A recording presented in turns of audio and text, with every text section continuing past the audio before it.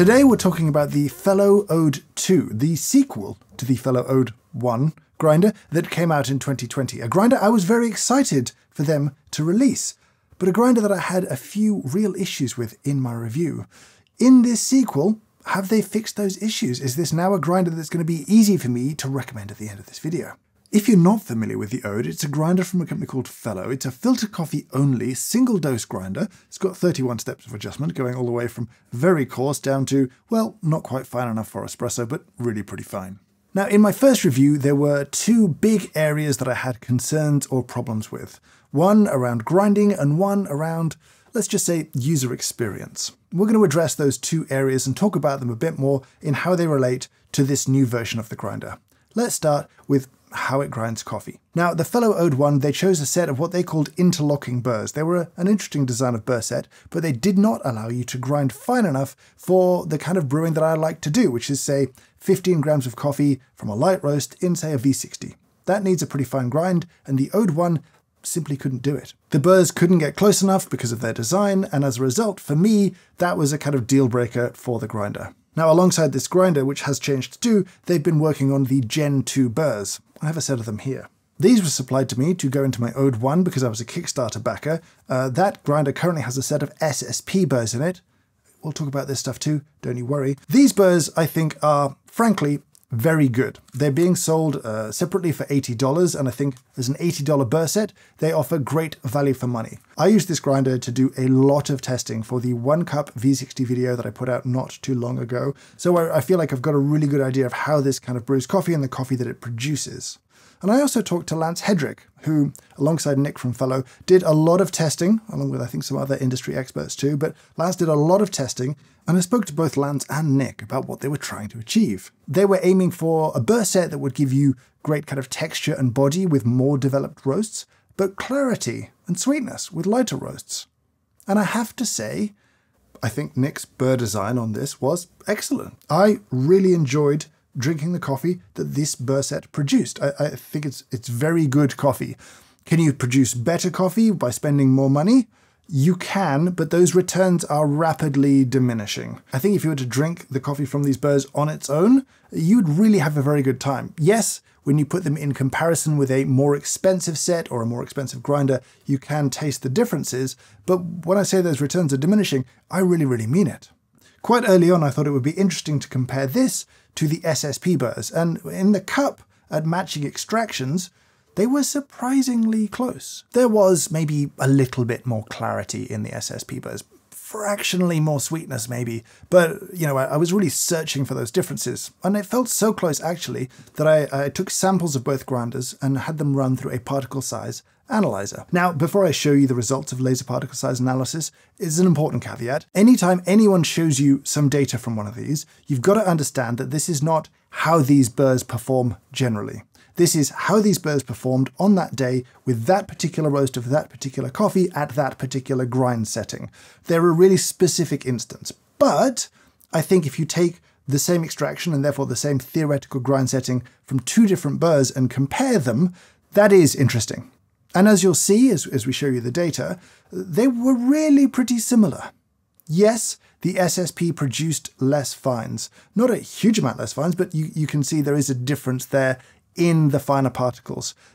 Slightly more uniformity generally, but really pretty close. Those SSP burrs sell for $185 on Fellow's website, and I'm not sure that for most people in the world, those $105 are well spent. These $80 burrs perform, I think, really very well. It's clear that Nick and the team at Fellow put in a lot of time to get this whole thing right, and I think it was time well spent. Now we need to talk about the UX kind of piece of it because frankly, the Ode 1 was messy and a little bit annoying. To highlight the changes they've made, I'm going to brew some coffee.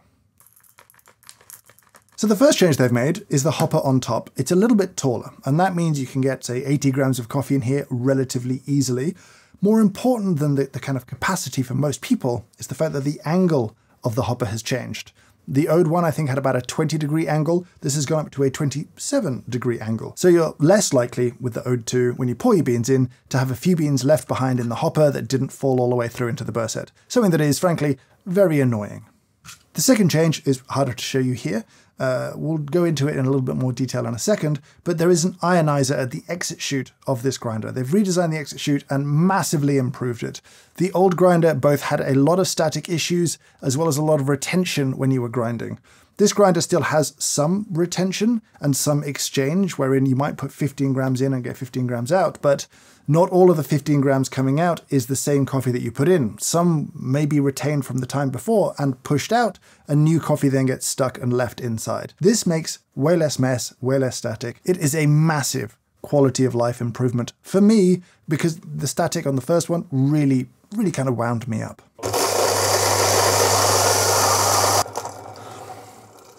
Did you hear that? Or did you not hear that? The first ode had this really irritating beep when it finished grinding that I frankly did not understand.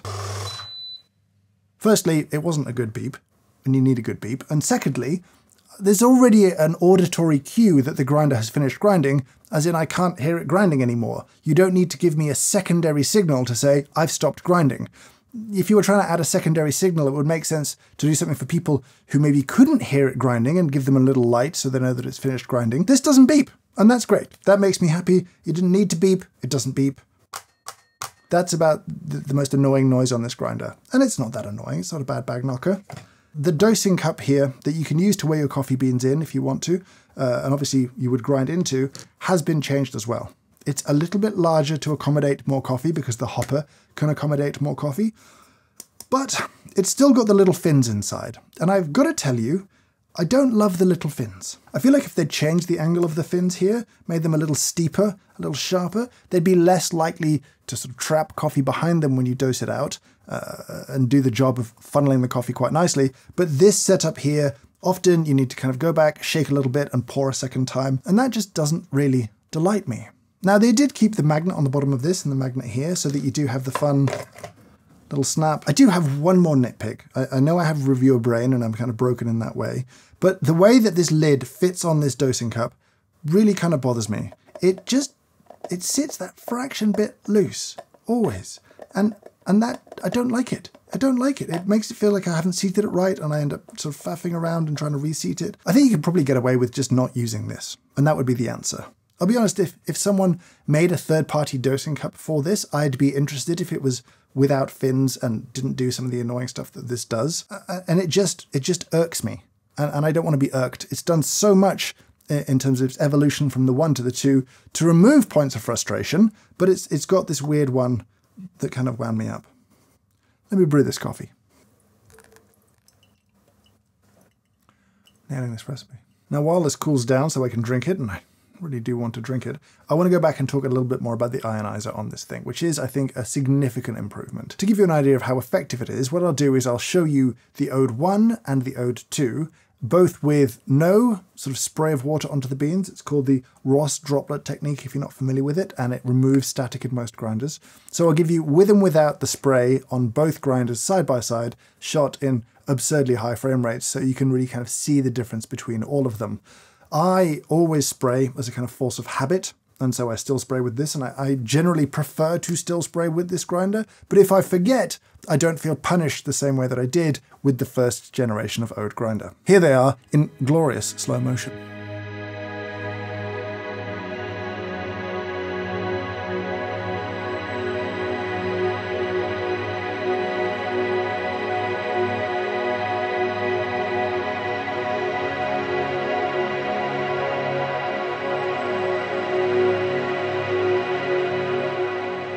Now, I will say if you're looking at my dial and thinking that's a bit finer than you might be using it, we are getting pretty high extractions with light roasted coffees around here, so 22 to 23%, very comfortably with a V60 like this. Uh, and the cups have been just great. Tons of sweetness, plenty of clarity, nice body. Uh, and I don't want to nitpick it against other burrs because most people never will. Does it make coffee you will enjoy most mornings? Yes, yes it does. Uh, and in terms of summary, does it still look good? It really does. I like the design of the Ode very much. I love its very small footprint. Uh, I think it's simple in all the right ways. And in fact, one small improvement they've made, I feel like particularly useful to me, is that on the inside of this, they changed very slightly this chart to explain the numbers on here. I just couldn't read the first one. I, I just felt like I was just not, not bright enough to kind of cope with the information I was presented. This I find much more readable and understandable, and so I'm grateful to Fellow for that one because I, because I messed it up the first time. Always embarrassing when it's on YouTube forever. So it feels like this is an easy recommendation from me. And it nearly is. You know, the little gripes that I have with it, the little complaints are really relatively small. The last thing that we haven't talked about is price. Now, this isn't out in the UK yet. In fact, this is a, a 110 US model. Uh, the 240 volt or the 230 volt or whatever the proper voltage is going to be. That's coming a little bit later, and so I don't have the pricing for that yet. But in the US, this is $345, which I don't know how I feel about that. The first grinder I think was 299 or 295. It was it was a $300 grinder, but the left digit, perhaps the most important digit, was a 2, and they've made it a 3 here. Now, I'm not sure it feels like it should be a more expensive grinder.